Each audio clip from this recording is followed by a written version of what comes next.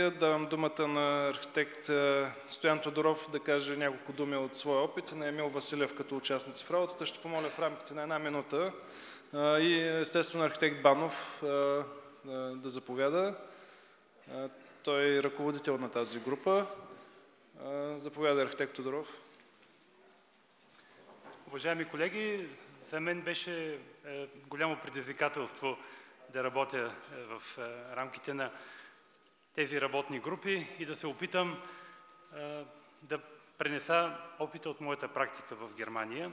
В процеса на работата установих, че не всички неща, които в Германия така добре функционират, са приложими в български условия.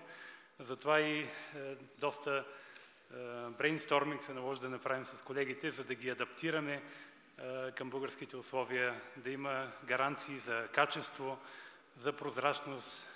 Всички знаем, че Балканите са място, където морал има други измерения от Германия, така че се наложи да направим някои леки корекции, които да гарантират това да функционира в България.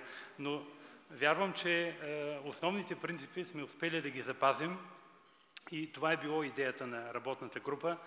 Разбира се, е, въпрос на вашето е, активно участие, е, това да, да го изчистим, защото сигурно всеки от вас има доста въпроси.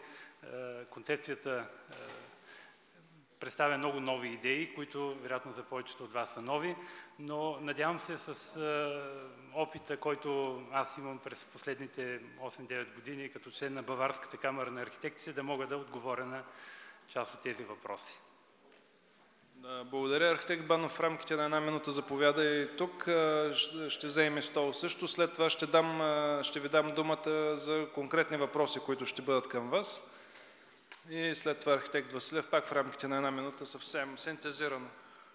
Ами, колеги, аз мисля, че основната цел на тази точка е ние да приемем няколко основни принципа, които да послушат като посока на това как да се промени на законодателството в сферата на устройственото планиране и инвестиционното проектиране, без да се влиза в детайли. Според мен прекалено в, край, в крайности можем да изпаднем и считам, че презентацията на архитект Бакалова беше изключително подробна и някой, с някои от нещата аз не съм съгласен, тъй като подобни въвеждания на технически контроли, които се назначават от камерата и изобщо да минават плащания през камерата, считам за неудачни. Но това са детайли, които си мисля, че за в бъдеще работните групи ще могат да изчистят. На този етап е важно да приемем основни принципи, които да залегнат в работата на работните групи и които да послушат като основа за промяна на за структурирането на новия закон и за промяната на ЗУД. Аз си мисля, че една от задачите също така е и а, настоящите промени, които трябва да залегнат в ЗУД и а, трябва да дадем насока на това, като как нашите представители в работната група към МРРБ ще поискат ЗУД да бъде променен. Ето защо считам, че трябва да се обединим само около няколко основни принципа, които тук да бъдат прогласувани. Благодаря. Така, благодаря. Архитект Василев също като човек, който участва активно в работата, моля за една минута синтезирано най-важното според теб. Благодаря, архитект Игнатов.